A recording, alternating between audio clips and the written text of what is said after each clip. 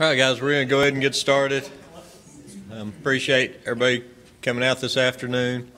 And I'd like to introduce um, Devin Bray. Um, she's the one that organized this class. So I'll turn it over to Devin.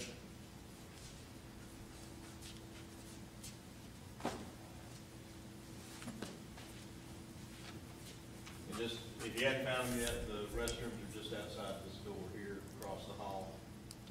I think everybody found the refreshments. Uh, my name's Devin Bray, and I have um, host. I'm hosting and I organized this training for my Girl Scout Gold Award project.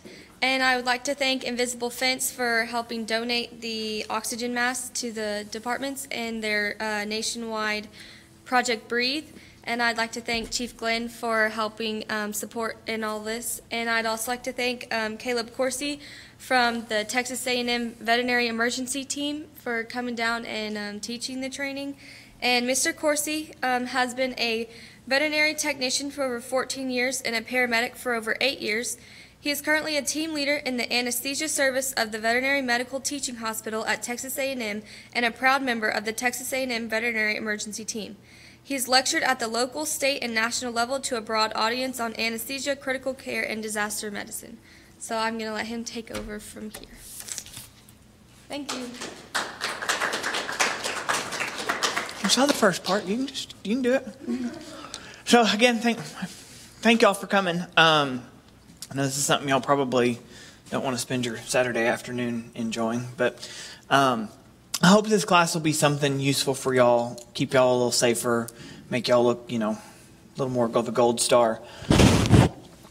Um, when we first started talking about this class, this was kind of something that we wrote for law enforcement. So keep that in mind. I've gone through after the first run of class, um, had a little technical difficulties switching from Mac to PC and back and forth. I think I fixed all those. I took some stuff out of these slides that I don't think y'all probably really needed again over and over and over. Y'all know this stuff. Y'all know how ICS works. Y'all know how to fight fire. We were trying to keep police officers out of burning buildings, and y'all are the ones going in. So I had to do some changes, but um, basically, we're we're this is kind of a pilot class. Um, this is this is something that's not been done before. We've taught veterinary technicians, we've taught veterinarians. We do a, a canine paramedicine conference every year where we take medics off the street um, and teach them, you know, how to put catheters in dogs and do intubations and all that kind of stuff. So this is this is a little different, but um, when Devin contacted us about getting this with um, with y'all doing oxygen support, I'm sure all y'all have seen the videos on YouTube and Facebook and everywhere else where you know the firefighter comes running out and puts a mask on a dog and the dog magically walks off. Um, sometimes that really happens, so we're um, we're hoping this will kind of prepare y'all for that. Um, so if y'all have questions as we go through this, just interrupt me. You know, like Chief Glenn said, bathrooms are over there. Feel free if you need to take a break, take a break, um, and we'll just try to get through this so y'all can get back to back to your normal routine. Um, like I said, this class was originally written all for law enforcement, so y'all are y'all are kind of the pilot on the fire medic side. Um, your your morning crew this morning got to be the real guinea pigs, so I think we've got all the bugs figured out, and, and y'all should sail through this pretty quick. So because this is, we're in process of getting this accredited for, for Fire CE and EMS CE, you know, we have a few things that we have to say. Um, course objectives. Um, we hope that y'all be, will be able to kind of understand why we do what we do. Um, there's a um, lot of animals that get affected by emergency situations every day. Some you may see, some you may not see. Um, kind of a little bit of background about us and what we do as the emergency team. Um, Texas A&M being the only vet school in the state of Texas, kind of had some realizations when Hurricane Katrina and Rita hit, and one of them was we were very ill prepared as a state to handle any kind of disaster on a large scale for veterinary medicine. So because of that, we wound up pulling everybody we could possibly think of to go herd cattle and round up cows and get water and feed to livestock and rescue animals. So the veterinary emergency team was a dream of one of our, our food animal professors. Um, and it has evolved over the last few years into a pretty expansive um, about $5 million worth of equipment. We're completely mobile, self sufficient for three weeks. Um, we can go just about anywhere and, and, handle just about anything that we could do at the vet school, um, other than CT and MRI. But um, you know, we can do surgery. We've got medicine. We can set up an ICU facility. You know, we can handle it all. Um, so with that, um, you know, there comes a lot of things that, that we're going to get into, and we're going to talk a little bit about kind of animal behavior, only because we don't want y'all getting bit. That's that's kind of the biggest the biggest thing I have is I know there's a there's a lot of paperwork involved day to day anyway, and you don't want to add bite reports and getting all that stuff into the mix. Um, so we'll kind of go over that a little bit. Um, scene security is something that, from an you know an EMS standpoint, it's been beat into my head for years, as I'm sure it has y'all too. And it's on every skills test that you do. The first thing you say is, "I have all my BSI my scene is safe." You know, um, this is kind of twofold. Pay, pet owners can be for lack of a better term, flat out crazy. Um, you would think that there are, you would think that somebody would worry more about their house being completely burnt to the ground or the fact that, you know, they were just in a horrific car wreck and, you know, their legs missing. No, they want to know how Fluffy is and what you're going to do about Fluffy, who's in the back seat. It's part of the human animal bond, and we'll get into that a little bit. Um, we're going to go over some clinical signs, just some real basic, you know, this looks abnormal. What should we do? What should we think? Um, and then give you some options for what y'all can do as far as emergency treatment and, and where to go next. So I'm going to tell you now. Sorry, this is kind of a little bit of the boring chapter. Um, there is a lot of research that's gone into studying the human animal bond and, and, and how that how that coexists. Um, so basically, what's what's been figured out was companion animals, and when we say companion animals, we mean things that live in the house with you. It used to just mean dogs and cats, but now people have birds and they have fish and they have snakes and they have mini pot-bellied pigs and little teacup pigs and so we generally refer to that as anything that lives in the house with you. There are some people that are going to have livestock. They're going to have horses and cattle that that horse or that cow is their companion animal. So it's a pretty big term, pretty big, you know, encompassing term. But for most of this lecture, we're just we're going to deal with the small, what we call the small animals, so dogs, cats, exotic stuff. Um, we actually just finished um, a couple weeks ago. We went and we were lucky enough to have um, a group out of University of Florida um, come up and do a large animal tactical rescue course for us. So we just became instructors in rope rescue and swift water and all that all that good stuff. Um, but applying it to a large animal basis. So you know, you get that call that the cattle truck overturned. What do you do? You know, the horse that gets stuck in the mud. How do you get him out? Well, you can call us and we can help you through it, or we can come help you do it, and all that kind of stuff. So, um, like I said, companion animals, kind of where we're going to go. We'll touch on livestock just a little bit, but that that's kind of a whole different different spectrum. So the human animal bond is something like I said that's been studied pretty pretty in depth, and it over the last few years, really since like I said since Hurricane Katrina and Rita, that was kind of the kind of the starting point for the federal government to say there really is something to this, and, and we need to focus on this. So there's a, a lot of discussion as to exactly how it how it plays out. Um, but basically, you know, it's a mutually beneficial and dynamic relationship between people and animals. I mean, I have a cat. I like my cat. It doesn't mean I like somebody else's cat, but I like my cat. You know, some of y'all are probably the same way. You have a dog. You may not like other dogs, but you like your dog. Um, but there's a pretty good psychological connection between those two. Um, and like I said earlier, those connections can be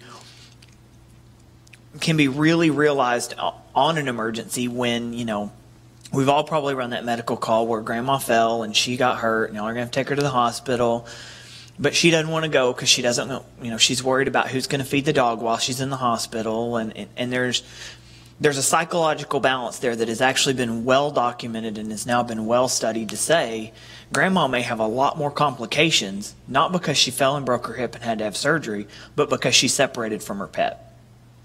So, like I said, it's it's it's really evolving into a whole new science. Uh, originally, um, there was a lot of discussion, and veterinary medicine focused a lot of resources in rescue and response in the large animal field. And that is only because cows are money makers. I mean, you got milk, you got dairy cattle, you've got beef cattle, but you, then you've got horses, which you know show they you know they run barrels with. They've they're money makers, and then you've got you know your your your farm breeds, your chickens, and all that kind of stuff. So they they're in a little bit different class than what just companion animals are still considered somebody's personal property. So obviously, in the beginning, it kind of made sense that you focus on what's going to save somebody money or make somebody money versus, you know, the dog that just lives in the house or in the backyard. Well, when Hurricane Katrina hit, that all switched. Um, Hurricane Katrina hit.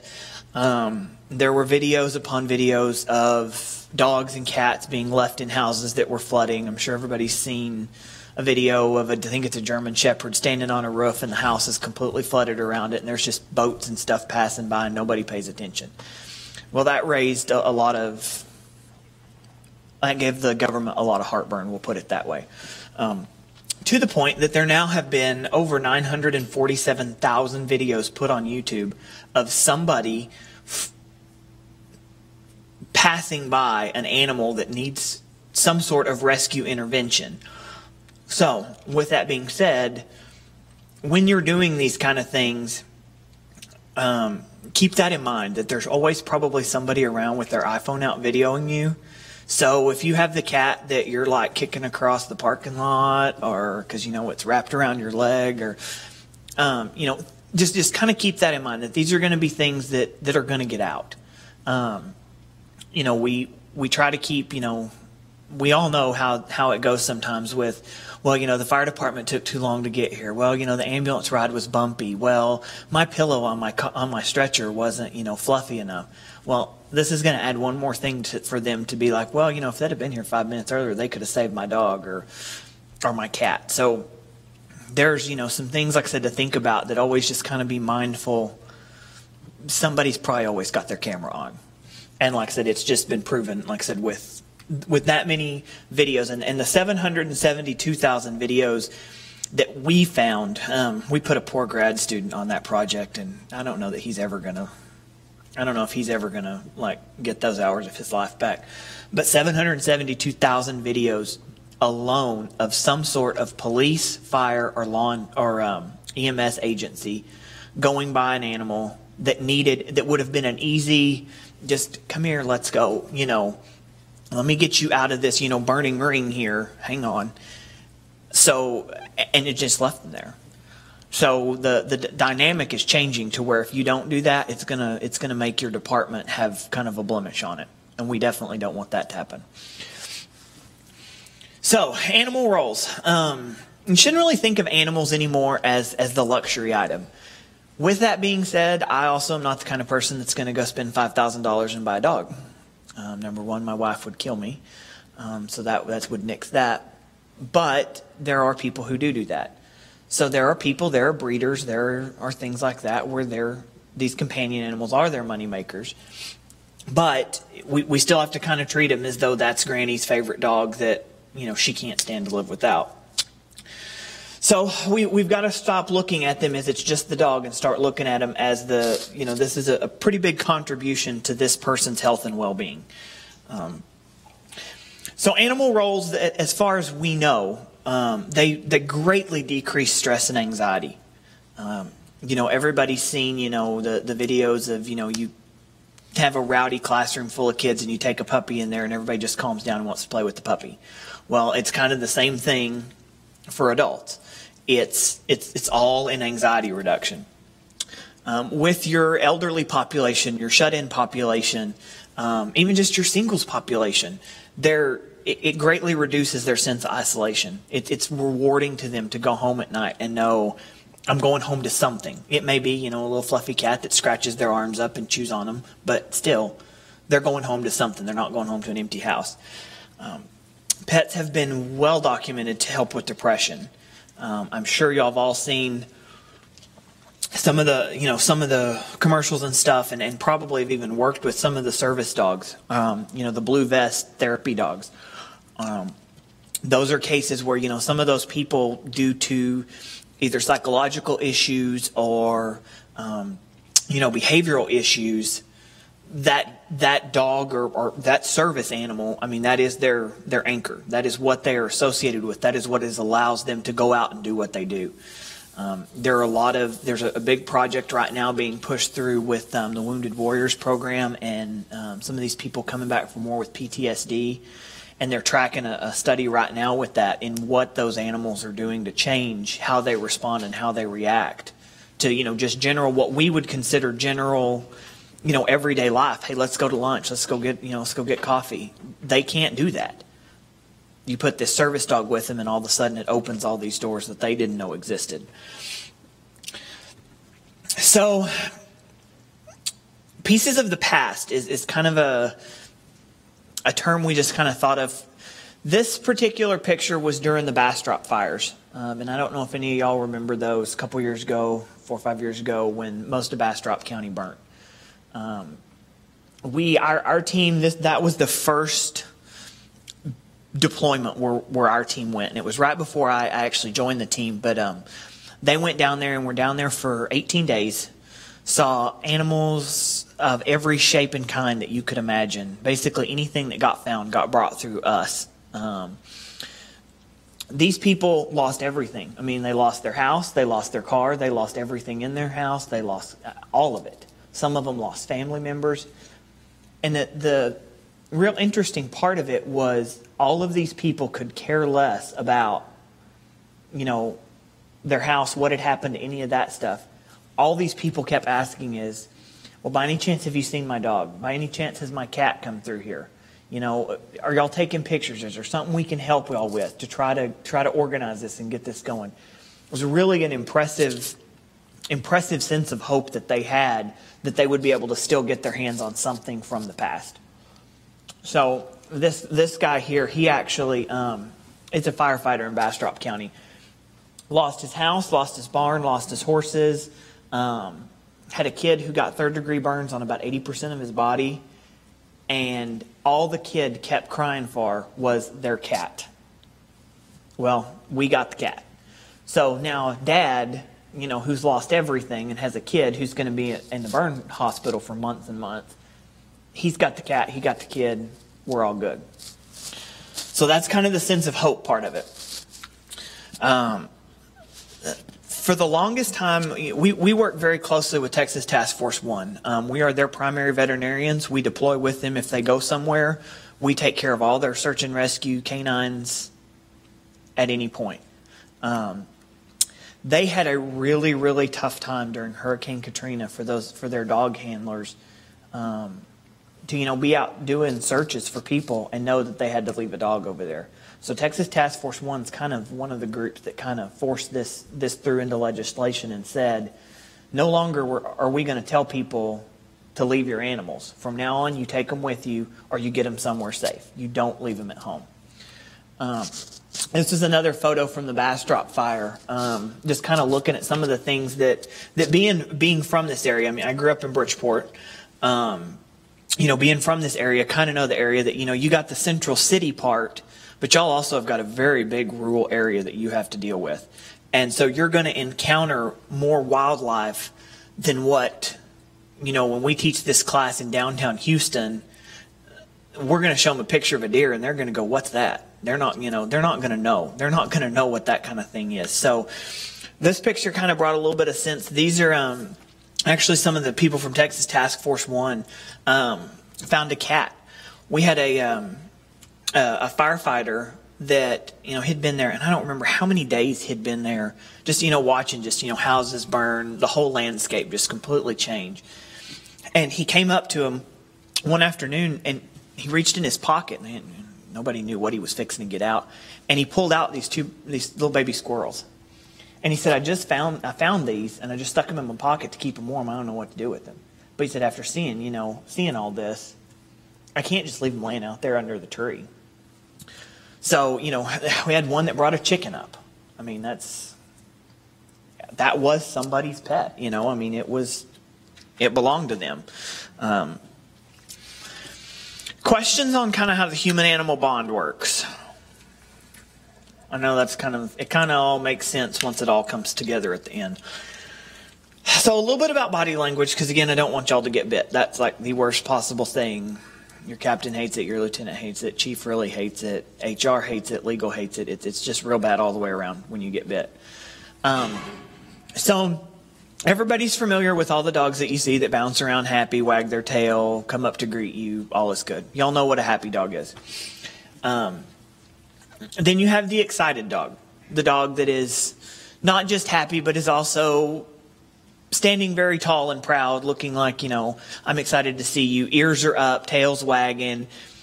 This behavior can kind of get a little confusing with some aggressive behavior. Um, just because of the stance they make. They have that, that position that they are ready to jump and ready to just greet somebody. Unfortunately, that, you know, could also be they're fixing to go for your throat and rip your jugular out. Um, yeah, you have um, a little bit of an insecure pose that a lot of dogs will take, especially um, we see this is one of the common ones of like when y'all go into somebody's house and there's dogs running around. If you kind of look at the dog, a lot of times you will see this this particular type of behavior. They're not real sure why you're there. They think you're there. Somebody let them in that they, you know, somebody from the house let you in, so you should be okay. But then they're just not real trustworthy yet. Um, these are the ones that can go one of one of the ones that can go one of two ways pretty quick. They can either turn around and be really nice to you and love you to death, or they can tear you apart in a heartbeat. So these are the dogs, probably one of the ones more than anything to watch is the insecure. Um, usually, you know, they just kind of cower in a corner and they may wag their tail, but they're kind of giving you that look like you know something bad's about to happen. The fearful look, um, like I said earlier this morning, this is a horrible picture for this. Um, usually they're, we call these dogs spring dogs. They're all, they've coiled themselves up really tight. You know, that dog is really tucked up, tucked everything in. Um, that serves two purposes. Number one, it protects, you know, you got to remember, unlike people, dogs are on four legs. So all, everything is here. Um, so when they're down on the ground, they tuck up to protect everything. You know, their their abdomen, their chest, everything's protected. Number two, they can do that and turn into a spring and launch forward at you. So these are the cases where you will get you will get mauled pretty quickly if you just run up to this dog and try to grab a hold of it. Um, a lot of times these these dogs are going to be dogs that have just been in, in some sort of trauma incident, you know, in a car wreck or you know the you have to have to you know break somebody's door to get into the house that's where you're going to run into this kind of stuff. Um, and then you have the i'm scared but i'm also going to eat you mode. Um, these cases are, are, probably one of the more dangerous ones um, just because these guys are generally very unpredictable. They may turn and almost look at you like they're fixing to start wagging their tail and be happy. This, you know, they may already be wagging their tail, but notice that he's got his body turned away from you and you know, most of his body he's trying to go away from you, but he's watching behind himself to see what you're fixing to do. So these are definitely yet again not dogs just to run up and grab and think all's going to be good. And then the, you know, the one picture that, you know, just because pit bulls have the bad rap for eating everybody, um, I would rather deal with a hundred pound wolf hybrid that's angry than deal with a little three pound teacup chihuahua that's happy. I just, those dogs are little land sharks and they'll just eat you. I'll take my chances with a big dog any day. Um, this is the flat out, full on aggressive behavior. They usually plant their front feet, they're bouncing on their back feet. Um, you know, they're barking, they're snarling, they're growling. This is the one that everybody should recognize pretty easily. So with with all those behaviors, there's a few things you can do to try to mitigate that that scenario. Um, and one of them is get down on their level. If you've got a dog that's aggressive enough that's coming at you, obviously you don't want to get in their face.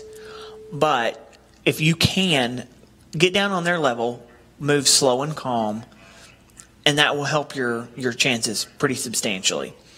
Um, there are very, very few cases that you're not going to be able to win over, especially if they really are just scared by just, like I said, getting on their level, walk, working slow and calmly, and you'll win them over almost every time. Um, the one thing to be be careful of is a lot of people would look at this dog and say that this dog is fixing to bite somebody. There are a few dogs out there in the world that actually do smile. Um, this would be one of them. Um, these these guys generally are happy. They close their eyes. They they almost squint at you when they do this. They wag their tails. You can tell that they're they are overall just happy to see somebody. But don't mistake this for the snarl that, that's fixing to eat you. You gotta you gotta kind of work the difference on those. Um, dogs are generally by nature a little on the submissive side. Um, if you see a dog going into this position, you know where they're rolling over on their back, um, those are again ones that you need to get down on their level, walk up to them slow, you know, talk calmly and quietly, try to keep noise down. Um, a lot of times these are going to be cases that you're going to run into where you know you're working a fire or you're working you know working a wreck. There's a lot of noise there's a lot of people lights sirens you know stuff that they're not familiar with. This is what's going to happen. Um, and like i said again slow calm and steady get down on their level it, you will win these guys over. Um, don't don't try to make it a habit to not reach out to just pet a dog on the top of the head that that's one of the ways that most people get bit. Um, just because you know the dog thinks that you're fixing, you could either hit him, you could grab a hold of them, so they're going to react to that and try to bite. So we we generally recommend to people squat down, get on their level, hold your hand out, and let them come to you, and that'll that'll kind of ease that transition where they're not real sure if you're okay or not. Challenging behavior. Um, again, this can be any breed. It, it, there are just some of them that you're just not going to know what's about to happen until it happens.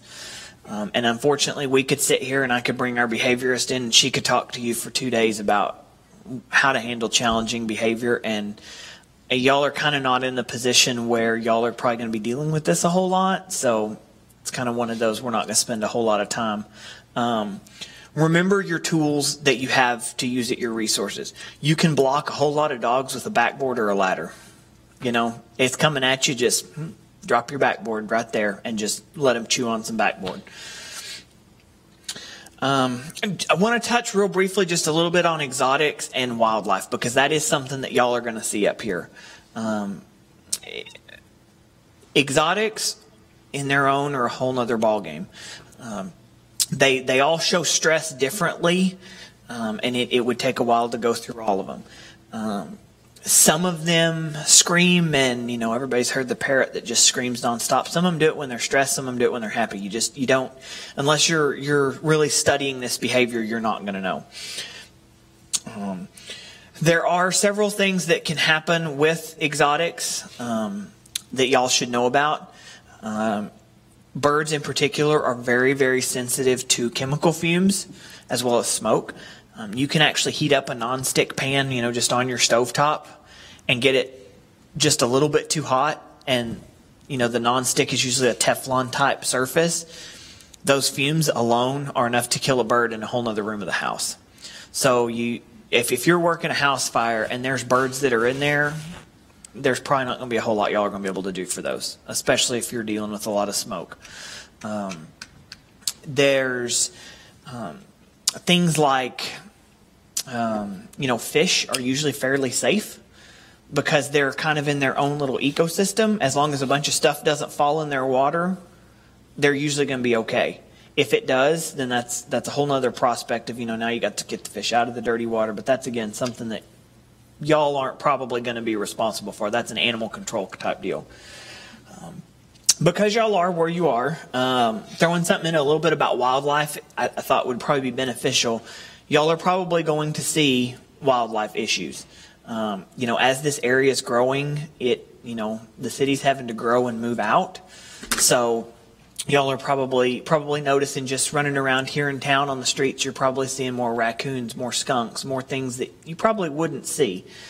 Um, these are not things that we expect y'all to deal with. That we expect y'all to know how to deal with. Um, mainly because most of this wildlife are going to be pretty pretty big disease vectors for things like rabies and distemper and things like that. Things that y'all don't want. Um, the one thing I will say is there's two breeds that seem to be getting quite a bit of attention and that are showing to become easier and easier to get. Um, one of them are exotic cats, and by that we mean, you know, tigers, lions, cougars, things of that nature. Um, it, it, there are a lot of restrictions on owning those, but unfortunately, not a lot of people enforce them. Um, it is not uncommon for you to search on Craigslist and find a big cat on Craigslist that you can buy as a cub. Um, it, it's pretty easy to do. Usually you can pick them up for a couple hundred bucks. And people do it thinking it's a real good idea to have a tiger living in their house, which is not ever a good idea under any circumstance.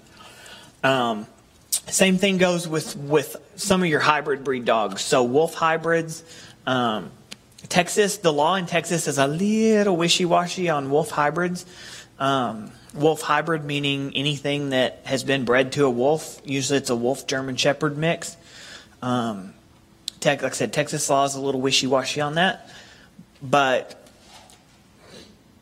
only in the fact that there is no true definition and there's no proof that you can say, well, that dog's a wolf hybrid, but that's a German Shepherd and that dog over there is a wolf.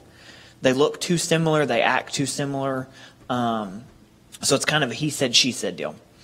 So with this, the, the, the reason that you should be concerned with this is when these wolf hybrids or these coyote hybrids get stressed, a lot of them revert back to pack mentality, meaning that they are going to try to be very aggressive and try to eat whoever is in their area. So kind of keep that in mind. If you see a dog that's like a German Shepherd, but nah, something about it just doesn't fit what you think it should, keep that in mind. Um, any questions on that? Okay. Um, we'll zoom through this pretty quick because this is something that y'all do every day in your in your daily work routine. Um, so, and there's some of it that I know that y'all won't. Y'all aren't going to have to deal with some of this. It's not your your area, you know, your responsibility. Um, so typical just like anything else. Dispatch tells you this is what you're going to, this is where you're going, this is what you got. Hopefully they're getting information from, you know, whoever's still on scene that this is, you know, this is ongoing. There's dogs in the car, there's cattle truck that slipped over and there's cows running all over the highway. It's, it's an ongoing process. So that kind of information hopefully y'all will have before you get there.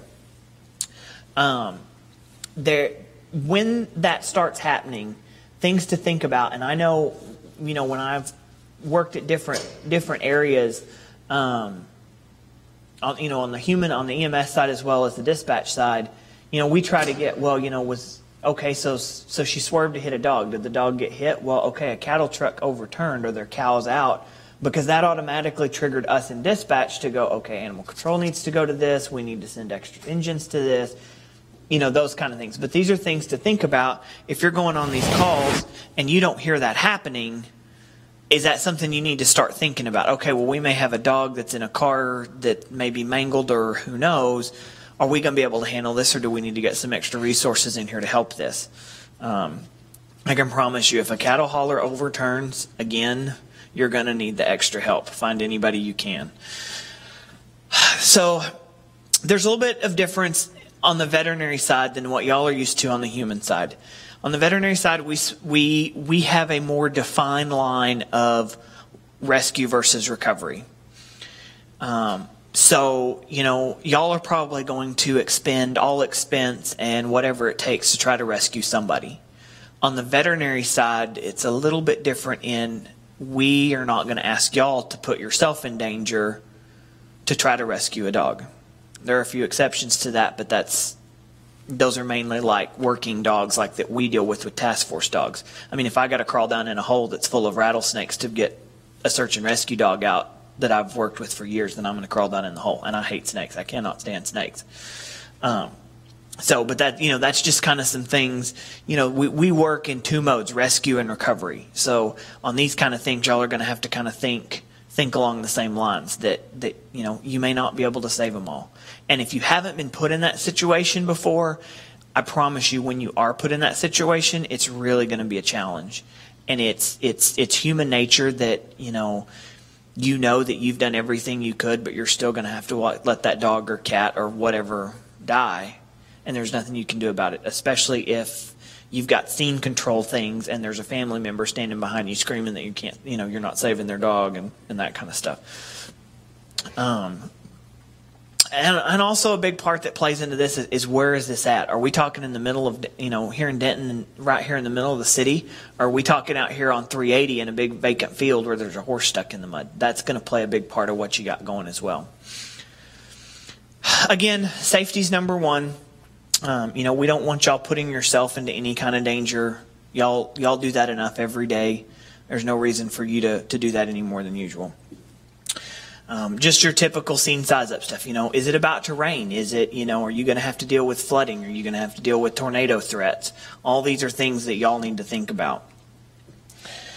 Um, again, back to scene size up. What's going on when you get there? You know, you can a lot of times get a lot of information from dispatch as to what's going on and and and how things are going. But until you get there, we all know we've been there where they say, "Oh yeah, it's so and so that has a little scratch on their arm," and you get there and their arm's half amputated, and you know because they fell from 18 stories up. So kind of keep that in mind that that you need to be fluid enough for things to change. Um, and that goes back into calling in your resources. Do you need extra help? Do you need animal control? Do you need law enforcement? Um, you know, I, I, I know a lot of times, you know, law enforcement are going to be the ones that are going to handle, you know, like if you have that cattle hauler over, overturned and you've got, you know, cows that need to be put down, that's their department. Y'all shouldn't have to worry about that. It'll either be animal control or law enforcement. Um, hmm, big part of it is the owner there.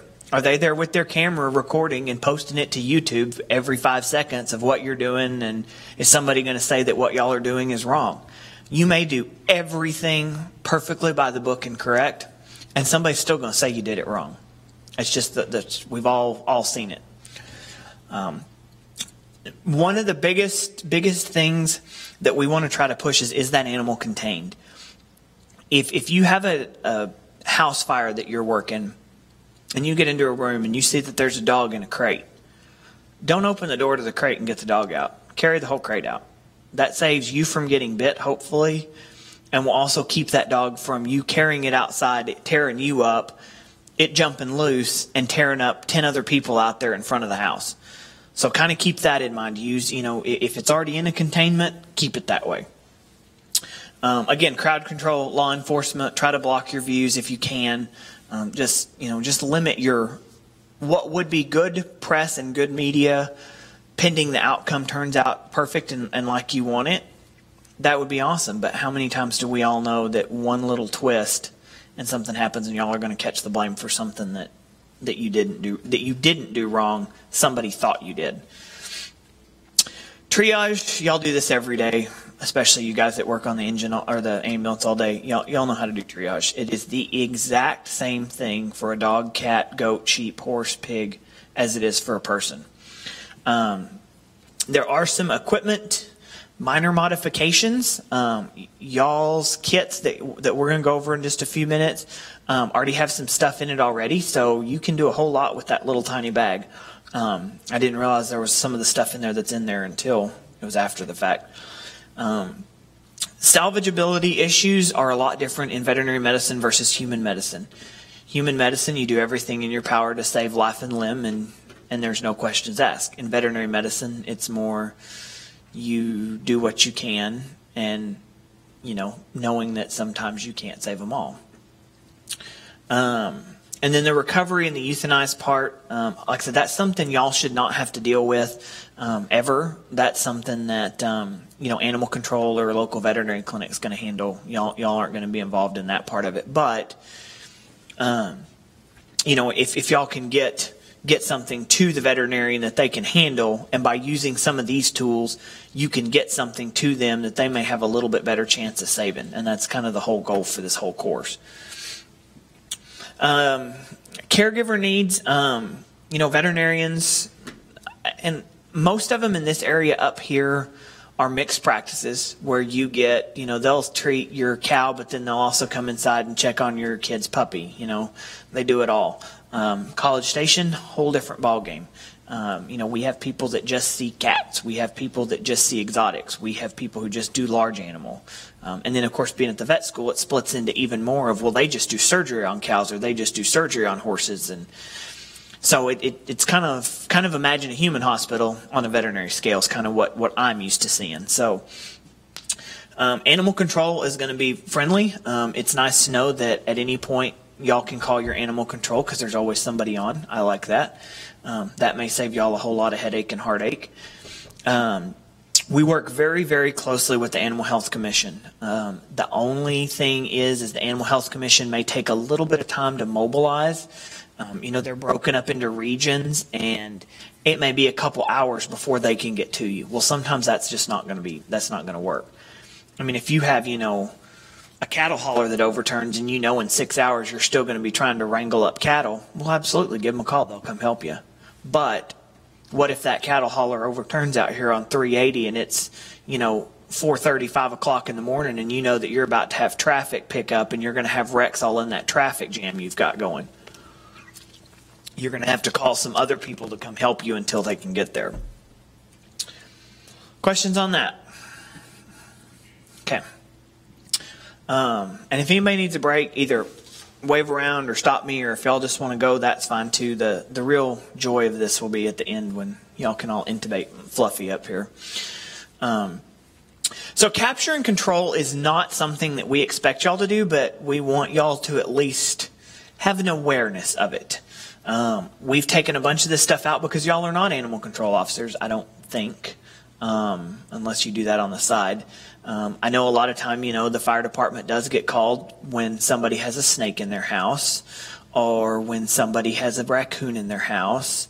Um, working fire, I will not go get a snake out of somebody's house. I'm, it's just just not going to happen. I don't I don't do snakes.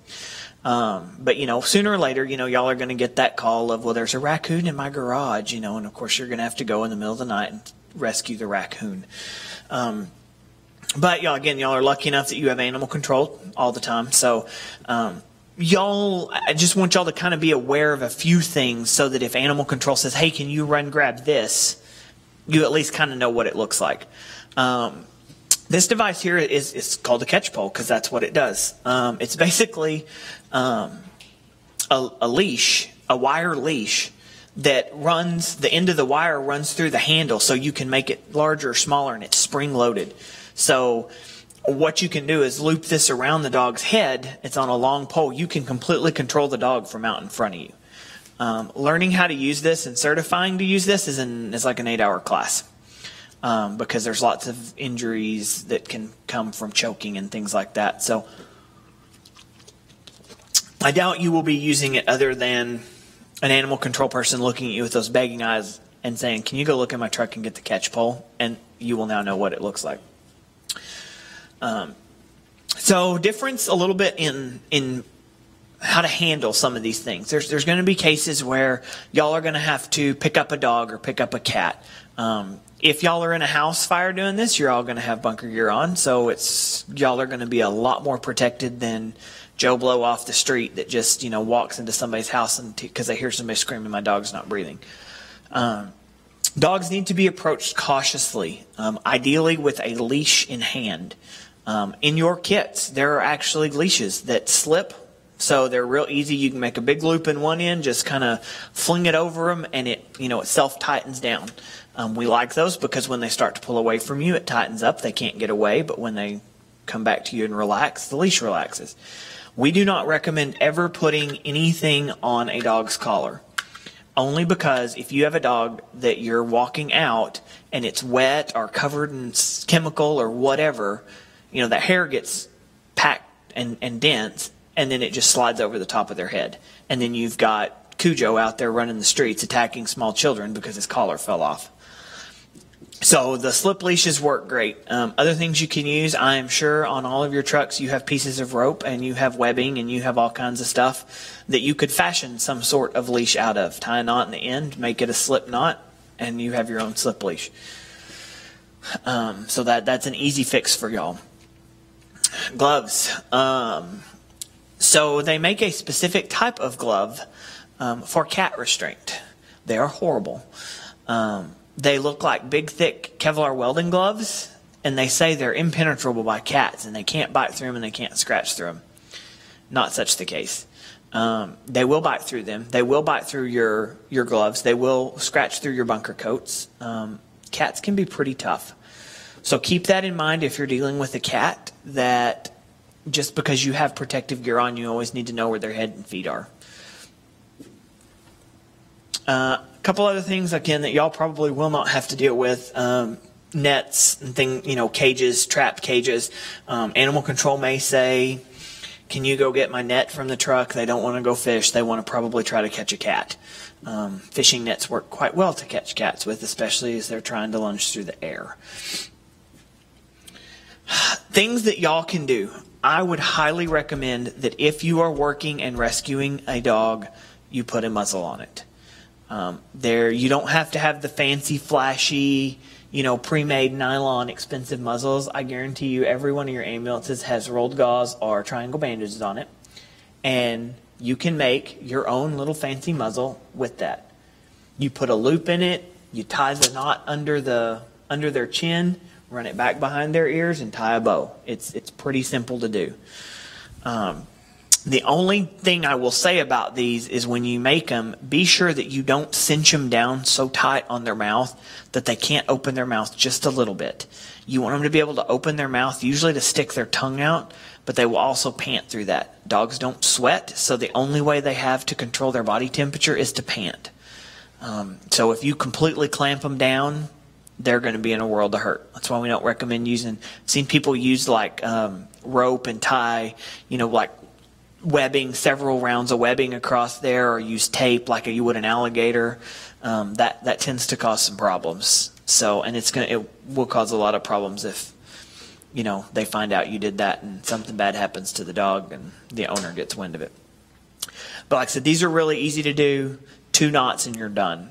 Um, and and you would be amazed at how tough that just regular two or three inch stretch gauze is. Um, we use that in the clinic almost daily, and we're talking everything from little chihuahuas all the way up to big Great Danes that are trying to eat us. Um, it works very, very well. Um, vehicle issues are, are a whole other host of problems. Um, ideally, these are going to be cases that you want to get animal control involved with from the start. Obviously, there's going to be some times where that's not going to happen. You get the call that somebody's passed out in their car. You're not going to wait 20 or 30 minutes for animal control to get there if you can't tell if they're breathing or not. It's just not going to happen. Um, so Cujo's in the back seat, barking at the window, trying to eat you through the glass. Um, there's a few schools of thought on things that you can do to keep yourself safe, yet still get to the person, still get the dog out. Um, first and foremost is always work slowly. A lot of times these dogs are just scared. They see this car as part of their house, part of their property, and you're encroaching on it and they don't know you. Um, there's there's several schools of thought as to how you go about getting the dog out. Obviously, if you can get the door cracked open a little bit and get a leash around them, even if you get that leash around them so they can't get to the other side of the car, put that leash in the door, close the door, keep them in one little section for a minute till you get the person out. Um, you can try to either break, you know, pop the door or break the glass, get the get them out of there. Um, I've seen people before where they just go to the car door and they just open it and the dog just takes off. Okay, that works, but now you got a loose dog on your hands. Or the dog just sits there with the door wide open and sits there right by the car trying to eat you from right there by the car. So you, you kind of have to figure out which way you want to create problems. I've seen people who have taken um, backboards and run them in the back of the car to use them almost like a cage in a cop car to keep the dog from coming forward. Um, I've seen them use pike poles to reach in there and slip a leash around them. You just these are going to be cases you're going to have to get a little bit creative. Um, the smaller vehicles are going to prove a lot more of a challenge. If you have somebody in a little smart car, there's not a whole lot of room to work to begin with, and you've just really, really decreased your chances. So with these vehicles, moving, thinking about what you're doing before you do it will help. A lot of people, human nature is you just stick your head in the car. If you will squat down and look around, see what's going on before you just pop your head in the car, you're going to be less likely to get bit. That you're not invading the space yet. Um, then you can assess: Is this dog aggressive? Is he trying to eat me? Is he fine? Is the dog hurt? You can do a lot just taking a look before you just randomly start going and opening doors and popping glass. Um, again, animal control is going to be one of your best friends for these. Um, you know, y'all probably aren't going to be rescuing um, wildlife anytime soon, so not, y'all won't have to worry too much about that. um, transporting animals that are injured is very, very similar to what you would do with a person. Um, we were talking right before lunch about, you know, how this works and, and you know you have to remember that dogs and cats are, are very similar to people the anatomy is fairly the same they're just on four legs their hearts all sound the same. Their lung sounds all sound the same. They all have a liver and a spleen and a gallbladder and a pancreas. It, it's just, just all the same. It's just in a little bit different position. So if you have a dog that is not moving its legs any of them you're probably going to think just like a person does this you know he have some sort of spinal injury? Um, dogs are a little bit different in that when you put them on a board and you you know either web them down or you know strap them down and say don't move. We think your neck is broken. Some people will listen to you and not move but dogs are definitely not going to listen to you. So when you're working with animals if you have something that is is very calm collected you know, really shocky, you can try putting them on a board or, you know, using a piece of plywood or whatever you got. Most of the time, using something that you don't actually strap them down to is going to be cause less damage long term.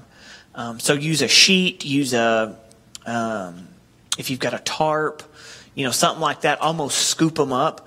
Um, Stokes baskets work great for this because um, you know they got a little bit of a side on them. So if they're laying in it, they won't roll off one side or the other. Um, the worst thing you can do is have a dog on a backboard and not strap it on well and go to lift it up and the dog slides right down the center of your straps. Um, I have seen that happen a couple of times going down a couple flights of stairs and it was not real pretty. Um, so um, just kind of look at what you've got around, what your options are. If you have a cat, Get it in a box. Get it in a pillowcase. Get it in something contained. Um, cats are notoriously quick and they will get, get out of anything you put them in. Um, so, like I said, we, we use pillowcases and boxes all the time. Um, they can breathe through them, they're easier to control. Um, we actually just, the large animal technical rescue class that we took a couple of weeks ago, um, that was one of the things we actually did was learned how, you know, we, re, you know, rappelled down and you rescued a dog off of this ledge. In our case, it was a cat, and they're like, "Well, you gonna you can't rappel down a you know six stories holding on to a cat, and he's not gonna just freak out and, and eat your lunch." So we said, "Well, we got rope bags down there, so we just took cat, put cat in rope bag, tied the top, and all is good." So think about what you got around that you can put these things in to secure them. Obviously, it's a real bad idea to put anything in a sealed container like a you know a Rubbermaid storage container that has no air holes. Um, I wouldn't recommend putting them in compartments of your truck. You know, just exhaust fumes and things of that nature. Um, again, you can use, you know, there's these fancy, nice veterinary versions of human gurneys, um, but if you need to board something, a regular backboard will do. A piece of cardboard will do. A whatever. Um, you just got to get a little little uh, ingenuity involved and and get you something that you know will work. Y'all are probably not going to be, you know, y'all aren't hopefully going to have to deal with complete packaging and transport and, and getting these things to a veterinary clinic. Hopefully, animal control will be there or somebody will be there to so y'all can get back to dealing with what you're there to do. Um, but that's in a perfect world, and we all know how that can go sometimes. again, carriers. Um, carriers are great. If you have a pet in them, leave them in it. Don't take them out. Leave them in it. Um, even if it takes a couple of you to move one of these carriers, it's a lot better to carry one of these things outside than it is to let the dog out and then have to deal with dog running loose, chasing people, causing causing scenes from that. Questions on that? No. Okay. And then moving through this quick. Um, quick basic anatomy, kind of first aid. Um, everyone in this room, I'm sure, has probably taken a CPR class and an ACLS class in the last four or five years. Um, so we won't have to get on that. Um, the biggest thing, yet again, I will say, is keep yourself and your others safe. There are a lot of people that get bit that could have been totally prevented if people would have just kind of thought for a second what they were doing. Um, second to that will be to keep the patient safe. Um, so, unlike the human human healthcare system that we are all know and are so fond of, as far as I know, there is not a single veterinary ambulance in the world that is tied to a medical director that has, you know, veterinary technicians that go out and pick up sick and injured and take them to vet clinics. Um, so there's there's a lot of a lot of different issues there to to work out, um, and some of them some of them we're actually currently working on. Part of our team is actually currently building some plans and working on.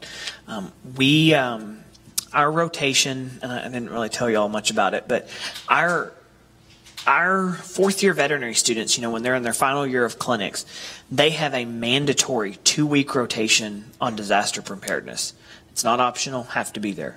Um, and what they do is they go out and they develop um, disaster response plans for cities, counties, um, other government bodies on if, you know, a tornado hit Denton today, this is how we would handle the veterinary portion of it. These are the people you call. This is what they'll do. This is what we have to get set up for them. Um, we, we, they stay very, very busy doing that. And with that, they're they're building in some some care package. So what we're hoping for one day is hopefully very soon we're going to be coming up here. I think Denton is on the list already.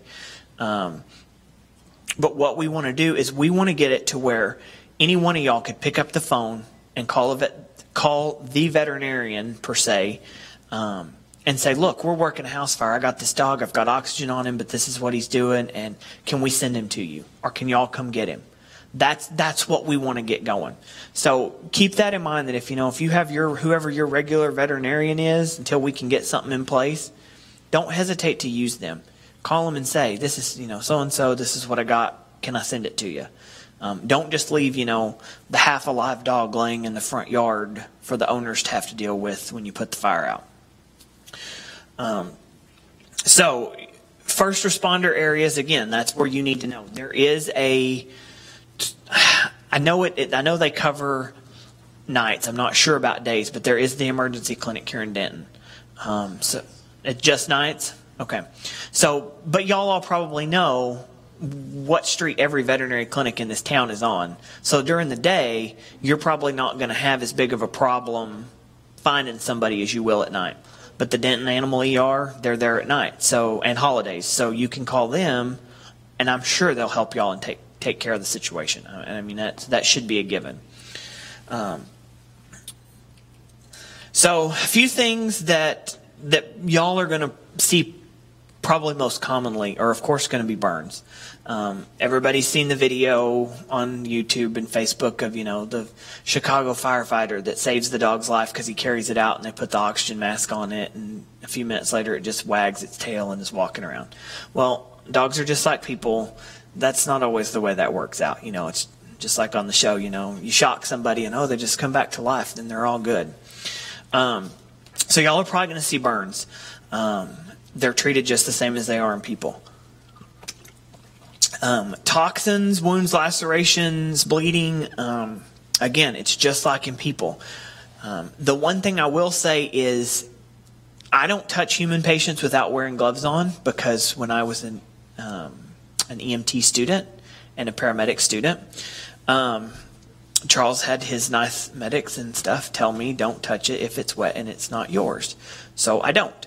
So remember with those dogs, you don't know what that blood that's on them is. Is it theirs? Is it from an owner? We've had, um, we've I've worked a meth lab explosion um, down in Bryan, and those animals that came out of that house had who knows what on them. So those are things to think about. You should not treat those guys any different than you would a human just because it's a dog. Keep yourself safe. Um, always keep your gloves on. Um, respiratory stuff, you're going to deal with smoke inhalation. Dogs, cats, just as sensitive as people are. Um, drowning, um, choking, things like that. Same with people. Y'all, dogs are inherently a little bit, they're a little bit different than people in that they tend to succumb to carbon monoxide quicker than people do. So if you go into a house and somebody says, "Oh, I've had this headache and the dog's not moving and you know the dog's over there," kind of kind of use that to your advantage that you just got a tool and figured out what was going on real quick. Um, cats are kind of the same way. Um, if it's my dog, he's just fat and laying over there in the floor because that's what he does all the time. But you know, kind of keep those things in mind. Um, heat exhaustion is another one that y'all will probably see some. Um, you know, with with different areas having different canine search and rescue groups and police dogs and that kind of stuff. Um, they may say, "Hey, you know, y'all got this really cool cooling tent over here. Can we bring our dog in for a minute? You know, he's hot."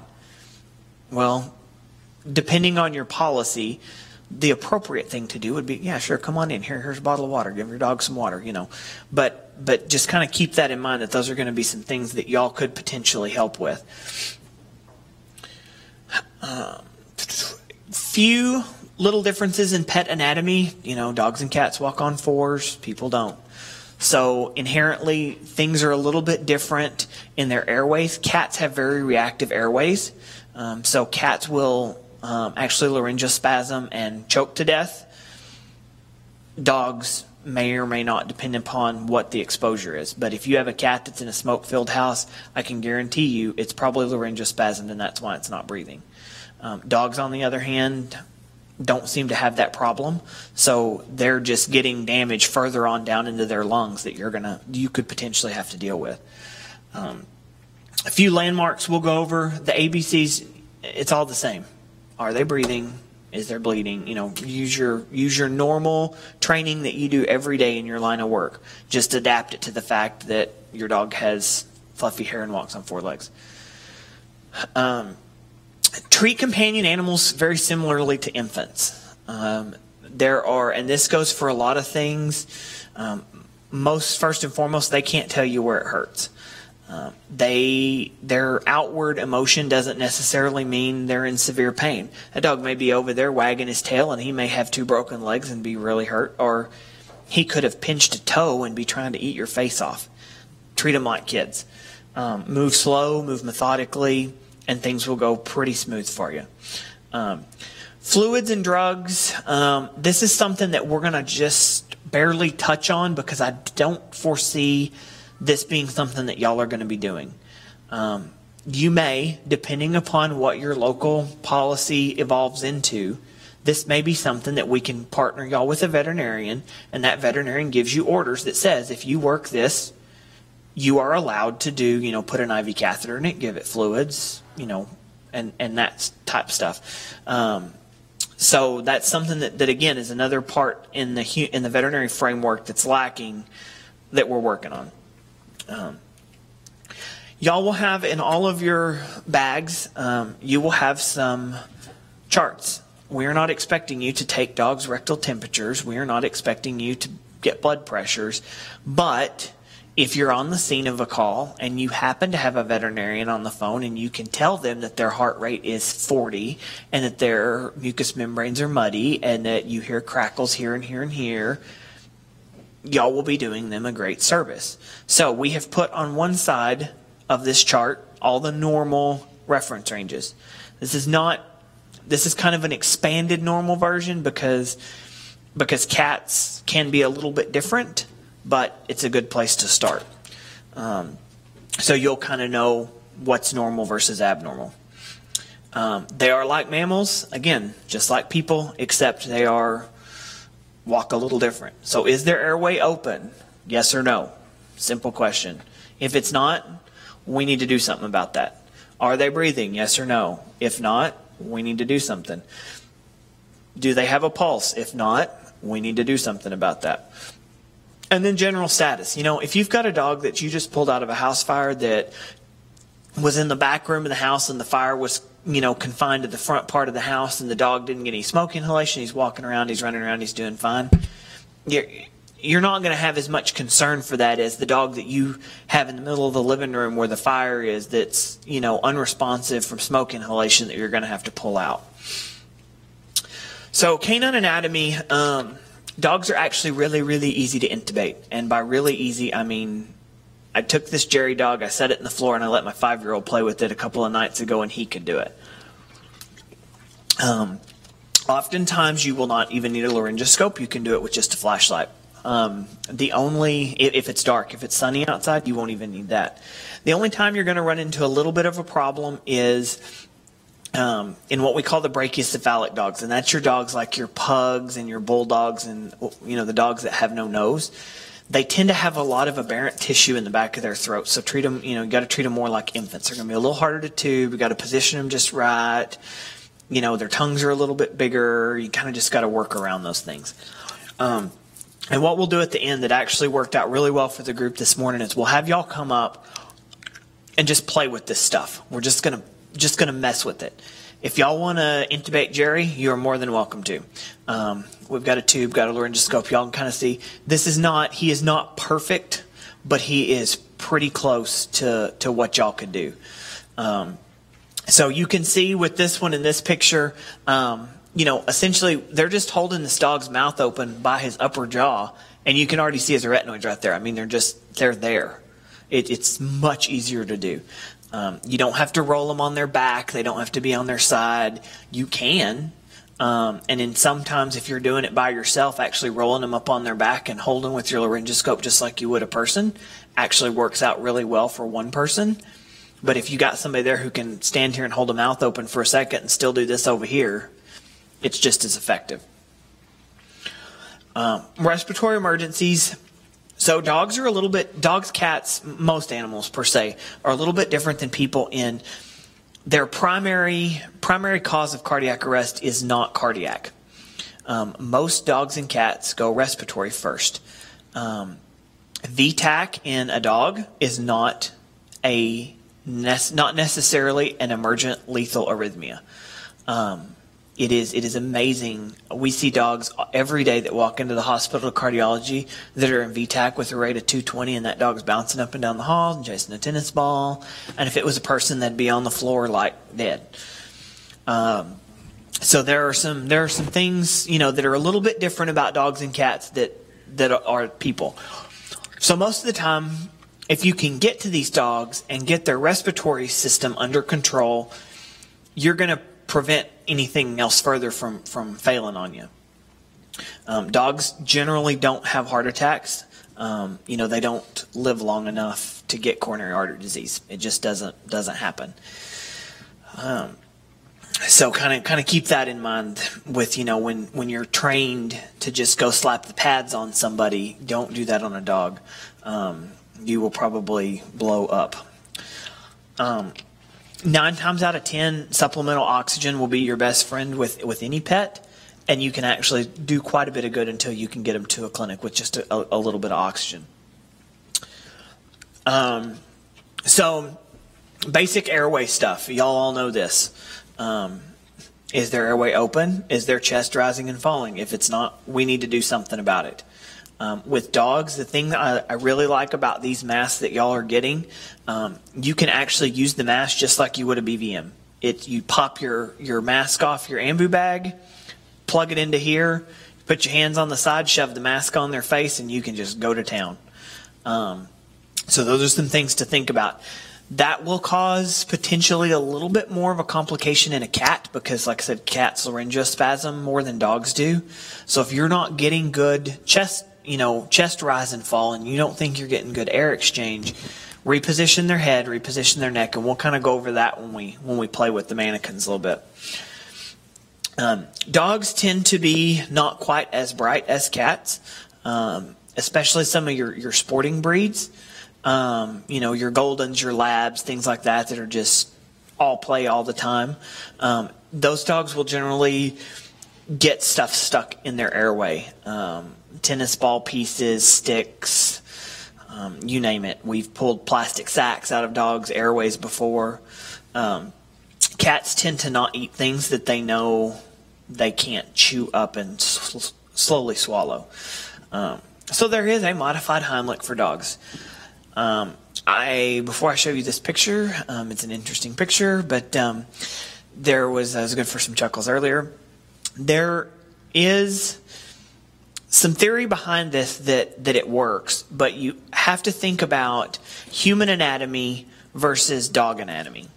Dogs have very deep barrel chests, whereas people are fairly flat. Um, people have gut, like me. Um, dogs don't. They generally have a very, there's not much in their abdomen because there's so much more space for their abdominal organs. So you really have to work to get an abdominal thrust to get something back up. But is it worth a shot? Absolutely. So I'm looking dogs. Um, you're going to have to get them up off the ground. So they're kind of using this one, um, and the picture got squished, so the dog looks like he's squished. But got it back legs either either completely extended or even up off the ground a little bit. Let gravity help you, um, and then do your abdominal thrust. But when you do this, you need to. Human nature is going to be to grab a hold and pull either straight up or backwards a little bit. You need to go forward with it. So almost taking your arms that are interlocking and pushing them forward towards the dog's head will get more pressure to push that foreign object up. So, the modified Heimlich. Um, so, oxygen mask, what we're all here for. Um, these masks are great because they're they're very um, they're very user friendly. These things are going to last y'all forever. They will I haven't seen one quite like this, but I really like them. So this is an all-in-one deal. You can either pop your oxygen hose onto here and use it as, as just a flow by like you would a non-rebreather mask, or you can pull this whole piece out and you can your ambu will fit right down in there. You can plug the holes and actually ventilate with it.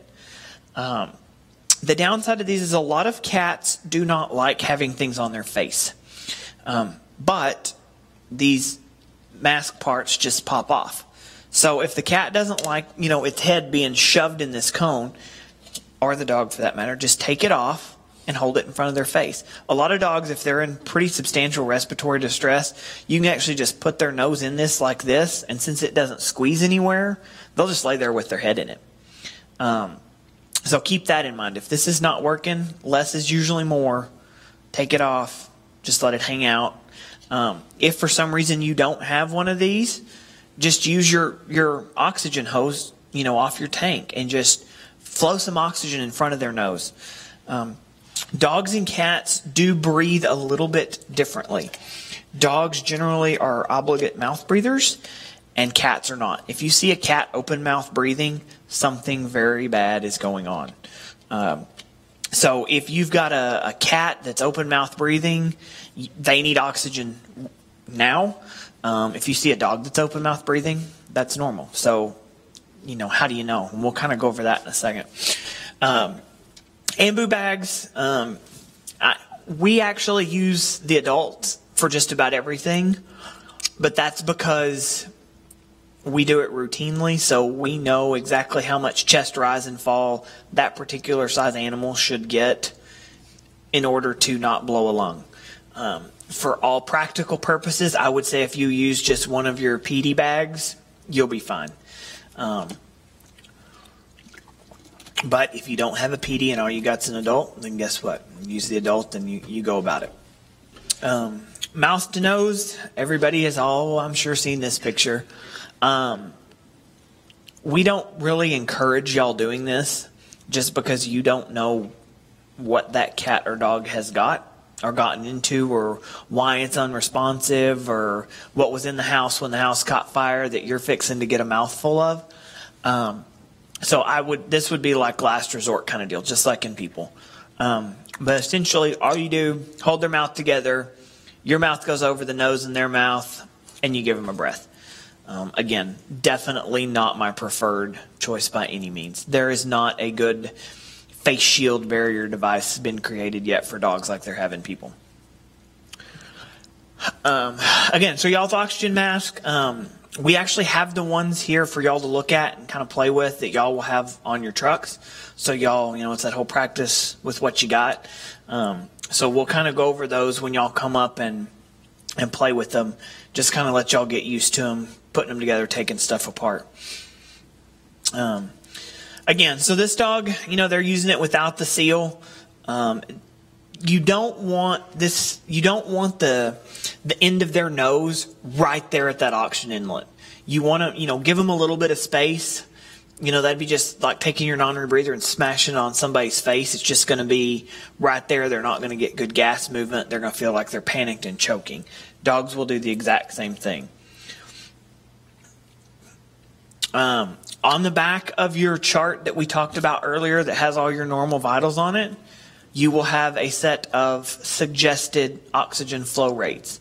Um, I can tell you for most things that you're going to do with these masks, set it at three to five liters and, and go with it. Um, if you're actually actively ventilating something, you might up it to seven to ten, but but three to five will still get you get you a pretty substantial increase. Um, so that'll be on there, kind of as a little reference for y'all to go back to as well. Um, y'all know these things. Like I said, we talked about a minute ago. Cats open mouth breathing, really bad. Um, dogs and cats that are in respiratory distress do very similarly to humans in respiratory distress.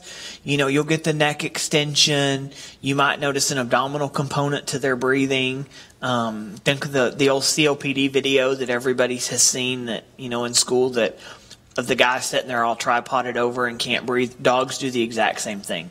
Um, once you get once they get to that point. Um, cat open mouth breathing is usually their first response, and then their second response is they die.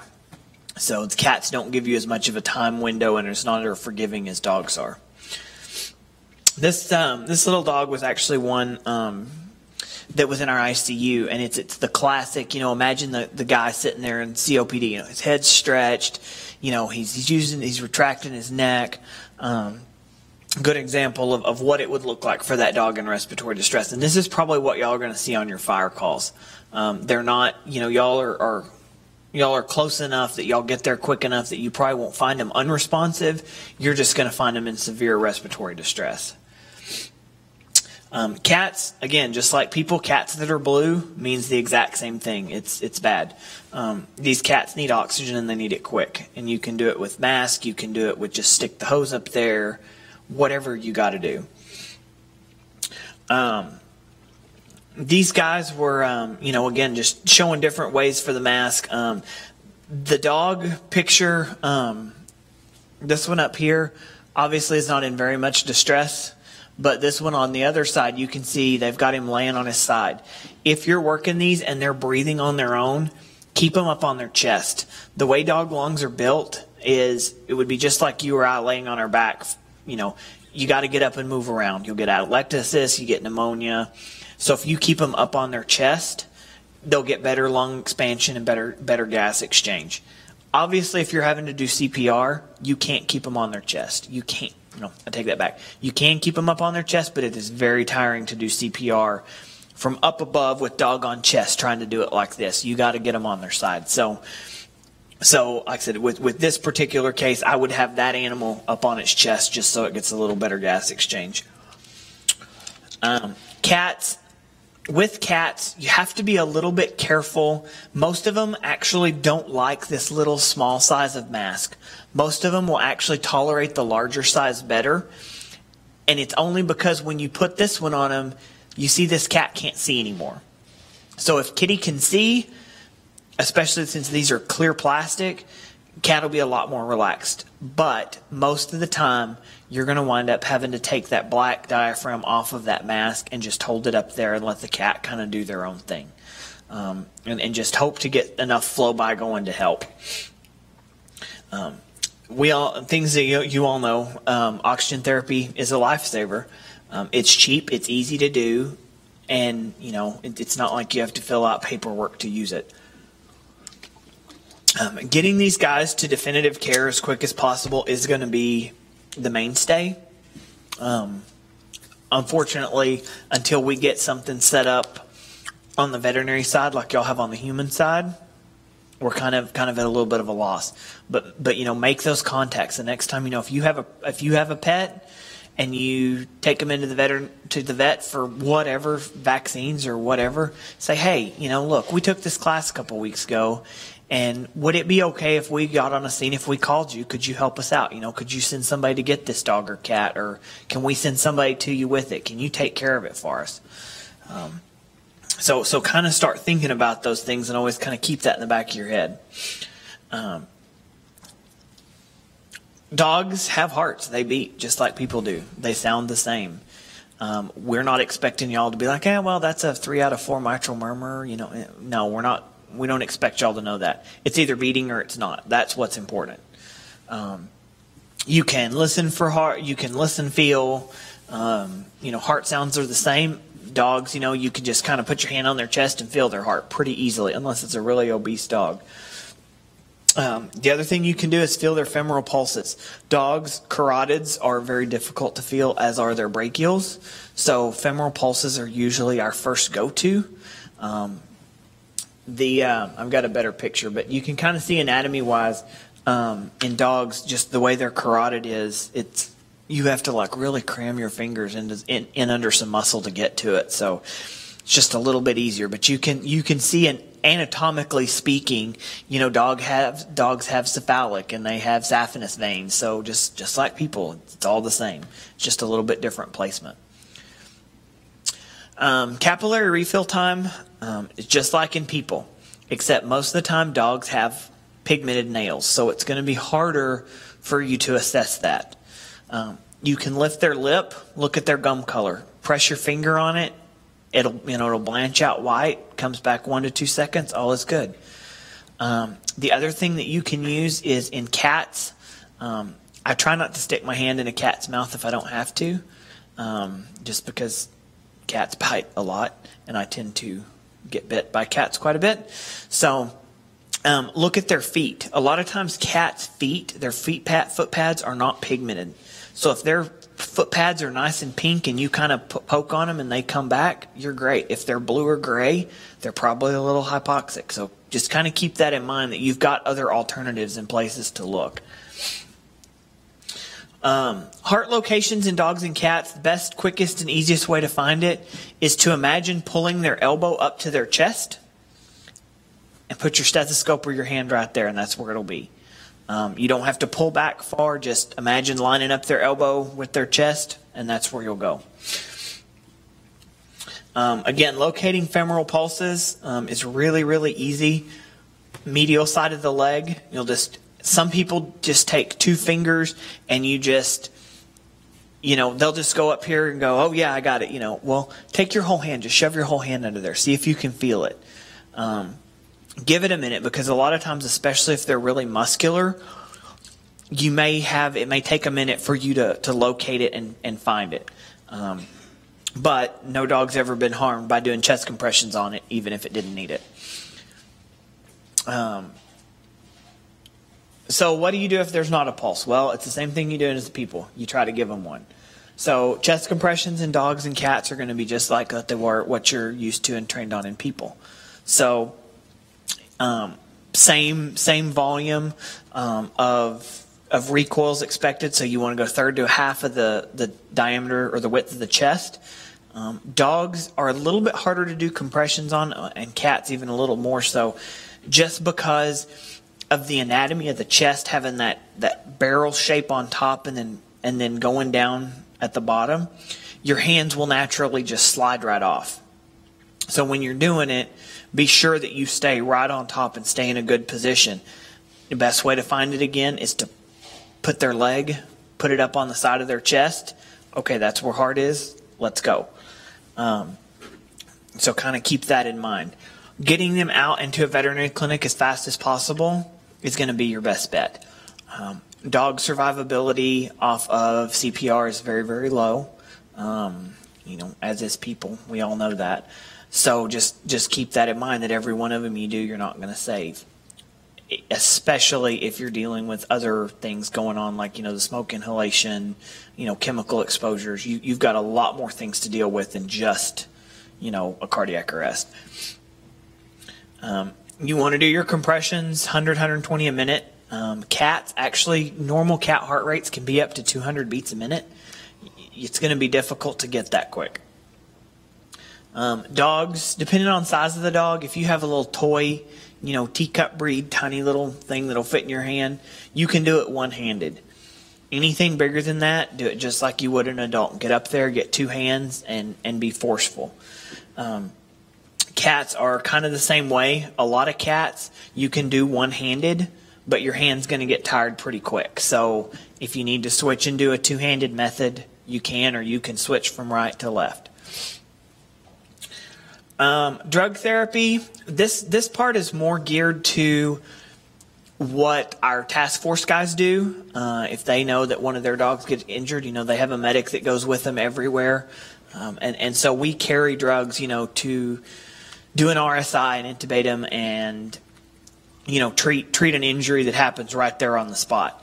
Um, but kind of the general rule of thumb is y'all are probably not going to be doing any kind of real big ACLS maneuvers, but if you do, you know, you at least have a little bit of a guidance that generally speaking, epi and atropine can be given to a dog and a cat at about a mil per 20 pounds. So if you remember nothing more, and the vet can't tell you exactly how much to give, eh, it weighs about 40 pounds. Well, two mils, here we go. Um, just like people, epi and atropine can be given down a trach tube. Um, lidocaine in cats is actually quite toxic. Um, so we generally don't use lidocaine in cats very often. And it's going to be difficult for y'all unless you actually really go all out and, you know, hook up your ECG and get all that stuff going to know whether or not you need to treat them anyway. Um, so just kind of kind of keep that in mind that you know if you need it, the vet may say, "Hey, go ahead and give it." Um, and same with fluids. You know, that's going to be something that, that a veterinarian's going to have to tell y'all which way to go go with. Um, real quick, I'll show y'all kind of a quick picture of where to place a catheter in a dog, just in case you ever have to do it. Um, dogs have very, very easily accessible cephalic veins um, that run right along the front of the leg. In, in an ideal world, you'd have you know clippers in your pocket and you'd shave it and put a nice little surgical prep on it. In a crash situation, it's just not going to be practical. Um, so again, you can kind of see it right there. Um, do your tourniquet or have somebody hold right above their elbow, and it'll just it'll pop up for you. Um, and, and usually that's one of the last veins to, to disappear in shock. So these are pretty good, easy ones for y'all to y'all to get to. Um, that's a better picture of it. You can see it running just right down the top side of the leg, and it runs all the way from elbow all the way down to the foot, and it usually doesn't split until it gets right on top of the foot. So you got a bunch of working room there. Um, the the second best location for y'all would probably be the lateral saphenous. So on the outside of the dog's back leg, right above the hock joint, will be this lateral saphenous. The thing I like about these is they're very straight, and they're usually yeah, they usually don't have any weird branches that come off into them that's going to make catheter placement difficult for you. And it's just like a person. Um, trauma um, is always fun. Um, this was a dog that got shot, um, that got evac'd out. Um, it, you know, it's the same kind of thing. Just follow what you know put some pressure on the wounds, get the bleeding to stop, do what you got to do to protect the airway, and don't get bit. Um, bandaging, um, y'all all know how to put a bandage on. Um, the only difference in people versus animals, you know, if a person got shot in the leg right here, well, you're going to put your bandage right here. Well, in dogs and cats, because of their anatomy and the way they move, we generally would wrap the whole leg. That's not necessarily something that I'm saying that y'all have to do because these are going to usually be very short term bandages that you're only putting on till you can get them out to a vet that's five minutes away. But if you do need to keep a bandage on, it's ideal to wrap the whole the whole limb. Um, again, just like with people, you know, make sure you don't get too tight. Um, you know, check for pulses before and after.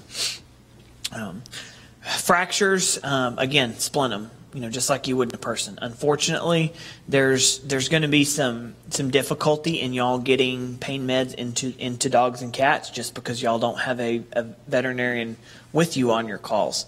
Um, so, but splinting a fracture will, you know, just like in a person, will decrease pain. So splint them and get them out. Um, ideally, you know, again, you'd give this dog a bunch of fentanyl and pop a tube in it and put a bandage on him and send him on his way. But y'all aren't to. That luxury is is years down the road.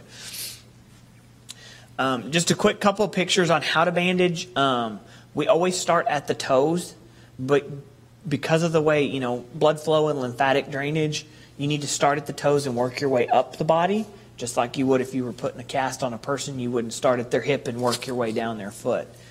Um, the, these don't have to be fancy. You don't have to have the fancy um, Coban and vet wrap and all that. You can do them.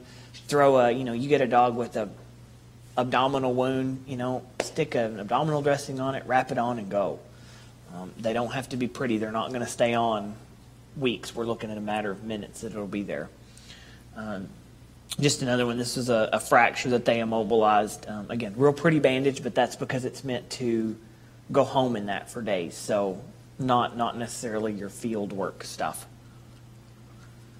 Um, real quick on, on heat stroke because that may be something that y'all actually may experience with um, you know some of your working dogs that y'all are probably around.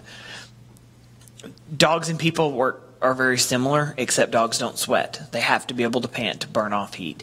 Um, anything over 107, we say is dangerous we have dogs that we work with um, was the search and rescue dogs that their temps are 100 degrees 101 degrees which is perfectly normal. They go up and work a pile for five minutes and come back down and their temps are 107 so it doesn't take long for them to jump up. And as long as those spikes are limited we don't see the problems in animals like we see in people. Um, but you will over long term, you know, start seeing kidney issues and seizures and, and things like that. Um, so the respiratory system is how most of them cool off, also in their feet. Um, if you can get their feet cool and wet, they actually will burn a lot of body heat off in their feet. We're not saying spray the whole dog down with ice water. Pour some ice out on the ground and let them stomp around in it for a few minutes. It'll it'll do wonders for cooling them down um, moving them to a cool environment. You know, if, if you've got, you know, say one of your police dogs that's been out chasing somebody and, you know, you think he's hot, just say, hey, you know, you want to put him in the cab of the truck for a second? We got the AC on. Let him cool off a minute. You know, think about, you know, how y'all, how y'all do your rehab for your, you know, your coworkers and your teammates whenever y'all are working a fire. Those dogs are going to be the same thing, especially if you're working a big incident where you're doing, you know, big dog search and rescue and you have 20, 30 canines up here working. They're going to need a place where they can go and cool off. Um, IV fluids, of course, would be ideal treatment, but we don't expect y'all to be able to do that, you know, right now. Give them a bottle of water. Um, mixing a little bit of Gatorade in with it will actually a lot of times make them want to drink it more. Dogs really like the lemon lime flavor. I, I don't understand it, but give them a little bit of a little bit of Gatorade in there, and that'll you know kind of help entice them to drink more water. Um, this was one you know again that, that we dealt with at the school. We just took some cool towels, throw some cool towels over him, a couple ice packs, put a fan on him. Um, you know, just think about what you're doing. You know, this dog. Um, this dog was actually not hyperthermic. He actually just staged for a photo. So, you know, in an ideal world, we'd have him right on the bare floor because the bare floor is going to be cooler than having that blanket under him. Um, the things to think about, though, when you do this is we don't want to cool them off so cool that they actually get hypothermic. So when they start getting down to 103, 102 degrees, stop what you're doing and let's, you know, let's shift back to just normal, normal thermic procedures. Um, chemical stuff, y'all handle the hazmat stuff. Y'all are the specialists with that. We are not. So y'all will know if you go into a house that's had a meth lab explode or that's had you know, some sort of chemicals that you know are there, those are going to be things y'all can handle. Um, we dealt with this a little bit when we when we deployed to West for the fertilizer plant explosion. You know, not knowing exactly what was there when that place exploded, and you know that happened at. We got the phone call about three o'clock that morning. They'd been fighting it for several hours. We got up there about nine the next that morning. Um, you know, there were still animals running around that had been in those chemicals and stuff. So of course, then we had to deal with that because nobody had thought about the decon piece of it. You know, what do we do with this dog that's got something on it that we don't know what it is? Um, most of the time, um, bathing them with, I mean, just regular soap and water is all you're going to have to do. Hose them off. You know, get your truck hose, spray them down, and you're good to go. Um, we actually have a grad student, and this is him. His his whole master's project has been on animal decontamination because there's nothing out there on it really. Um, he's working on a project and has actually built a self-contained decon unit where we can we can work through you know with chemical resistant gloves and whatnot and safely decon these animals in an enclosed environment where all the water's pumped off. Um, and then of course you know then we'd go through the hazmat decon ourselves. But we're just kind of you know he's playing with some different prototypes right now. So first aid um, just kind of a, a, little bit of a recap um, and then we'll we'll kind of play with these masks a minute and then we'll get y'all out of here whoops sorry um, remember again safety is your biggest deal and, and the only reason i keep drilling that in your head is there are so many dog bites that happen that are preventable that either winds up getting an animal euthanized or put in quarantine that didn't have to happen. So if we can prevent just one of those, it'll make a big difference. Um, use your triage skills. You guys know when something's wrong and when something's out of the ordinary. Y'all know this. Um, you know your city better than anybody here, um, so you know what's around. Um, think of, of, of a systemic approach just like you would at people. Start at the head and work your way down just think of them as kids. You know, they can't tell you where it hurts. They're going to try to kick you. They're going to try to bite you. They're going to be screaming. Um, and and and they they do have four legs and they walk kind of funny, but but their anatomy is still completely the same of that of, a, of an adult. Um, you know, all the organs are still there. They're just in a little bit different spot. Any questions? Okay. Um, if y'all want to come up, we'll kind of play. That's pretty much all I've got. I'm sure Chief Glenn will have something for you. Um, oh, okay. But I want to kind of go over, um, like I said, just kind of how to use these, what's in the bag, how to hook stuff up, um, kind of what comes with it. Let me find my. Um, so with these with these kits that y'all are going to get, there's, there's a lot of stuff in here. Number one, you're going to get this bright yellow slip leash. So you already have one of these. This is what I was talking about. If you need to make something, rope, webbing, whatever, this will hopefully prevent y'all from needing it. So keep this in mind when you're on that scene, even if you don't need oxygen. Hey, this is in the bag already. Um, you get a couple of different sizes of masks. These, there is not a right or wrong answer as far as the size of mask that you use cats, even though this mask is designed for cats, a lot of times are not going to like it. Um, you can try it. It works great to pull this part off and use it just as flow by, but they just they just don't like being squeezed and not being able to see. So you get a step up and you're good to go. All these work the same way. Um, they all have um, exhaust holes on the side that you can plug to actually do positive pressure ventilation with. So just like you would with your BVM. Um, they all have adapters on the top where you can just plug your hose off of your oxygen cylinder onto them. They also all pop out and the connector off your ambu bag fits right in here so you can do your positive pressure ventilation. One thing I did learn when I was pulling one of these apart earlier is when y'all get these on the truck, um, pop all these things out and put them back in. They're they're just they're really really tight in here because I mean they're brand new. So just pop them out, put them back in. That way, kind of breaks the lot the seal on them. So when you actually need them, you're not having to fumble with trying to get these parts and pieces out. So the way this works is is very simple. Um, you have evil scary cat, and I'm very sorry this will scare small children. Um, cats generally do best when they're being held, um, and and and it's and we're not talking you know hold it upside down or on its side. Cats do well close to you, so keep your bunker coat on because cats have back claws and nobody wants scratch marks all over their abdomen. But if you'll hold them calm and easily, really support their back end with your elbow, kind of you know snug them up to you, then you can take this and just put the oxygen mask on. With this cat, if we were using this big of a mask, if he was not, if he was tolerating this, you could try to go all the way, but some of them don't like having their eyes covered, so then you're going to have to back it up. Um, the main thing is you just want to be sure you get the nose and all the way to the back side of the lips covered with this mask. In the same token, if you need to switch from doing, you know, flow by oxygen just to support them, all you have to do is, again, ideally would keep them sternal, but it's going to be really hard to do by yourself. Um, you can take, lay them lateral, you can have the mask on, occlude the holes on the side of the mask and squeeze your bag. If this has got a good seal, it will actually just move forward a little bit. It won't pop off. So you don't have to worry about, you know, holding under the jaw perfectly and keeping it straight. It'll kind of hold itself on and support itself. So kind of keep that in mind when y'all are using these that if that, that you don't have to have five people sitting here holding this on the cat's head. Just get it on there tight, cover the holes, and you can go with your ambu bag. Questions on those? Like I said, they're pretty easy. The other thing that I really, really like about these kits is they come with a, a laminated sheet. And this sheet's got everything from instruction to cleaning and all that stuff on it.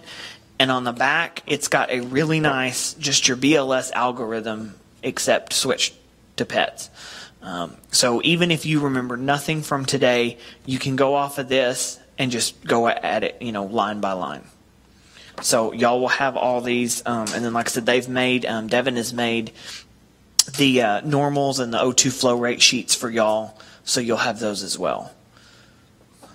Questions on masks?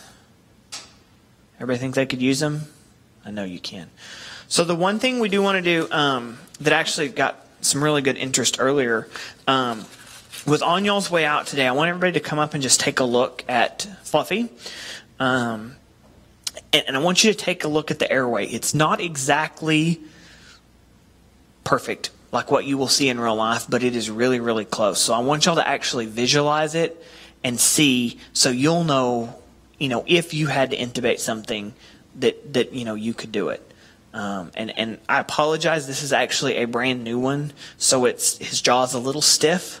Um, the ones that the fourth year students get, they get used pretty rough and hard. Um, so they're a little little easier to intubate. But like I said, I want y'all to just take a look at this. We need to play with these masks, see if y'all are comfortable using them. If you have any questions, and we can address them now versus having to you know having to go retrain later on. Okay?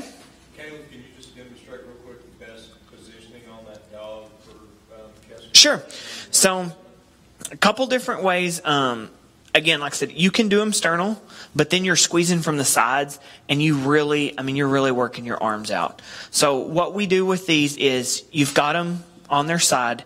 You'll just bend their elbow up to their chest, and that's going to give you the area that's going to be covered by the most cardiac mass. Well, once you find that, just like you would in a person, put your arms on and just go. Um, dogs, like I said, we said earlier, dogs and cats are a little bit a little bit more difficult in just the fact that the way their chest shape is, your hands tend to want to just slide down their chest. So be sure when you're doing compressions that you're going, you're staying up and down and you're not just sliding down the dog while you're doing it. Um, there are some extremely large breed dogs that you can actually do chest compressions and have somebody do a, an abdominal component with it, and that'll give you a little bit better cardiac return. But a lot of times, y'all aren't going to have the resources and the people to, you know, we have something in ICU and we've got 12 people standing there who are ready to do compressions. Y'all probably aren't going to have that. So keep that in mind that, you know, y'all can do you know, y'all can do chest compressions just as easily as I can. Um, you just need to be careful with, with hand placement a little bit. Um, with pulses, this dog actually has a fake femoral pulse. um, that y'all might feel. It's in the exact perfect anatomical location. Um, and it's it's a big it's a big piece of tubing, so you can feel it, um, and that'll kind of give you a feel of what the actual artery in a real dog would feel like as well. Um, the kitty, unfortunately, does not intubate, um, but that's actually our IV practice cat, cat that we use. Um, but but chest compressions on the cat would be just the same. Bend the elbow up. You want to try to get you know your 100 120 compressions a minute. Give a breath every you know three to five seconds. You know just your basic BLS care. And I would not recommend using AEDs or defibbing these guys because nine times out of ten that's not going to be your problem that's going to be, you know, if y'all are getting to the point where you're having to defibrillate a dog, it's probably beyond, you know, what y'all are going to handle in the field. Okay. Well, I just want to take a quick opportunity to thank Caleb one more time. He traveled 200 miles to come up and teach the class for us. Um, more than that, Devin for uh, for setting all of this up, and um, and then Invisible Fence for providing us additional um, masks to carry carry on our engines.